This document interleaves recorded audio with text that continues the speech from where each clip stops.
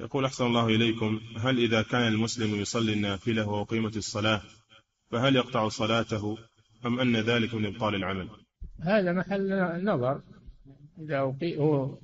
هو لا يدخل فيها بعد الإقامة لا يدخل في النافلة. هذا مجمع عليه أنه ما يدخل فيها. لكن لو أقيمت وهو فيها فالأرجح والله أعلم أنه إن كان في آخرها يكملها. أما إن كان في أولها وبياخذ عليه وقت فإنها فإنه يقطعها. نعم.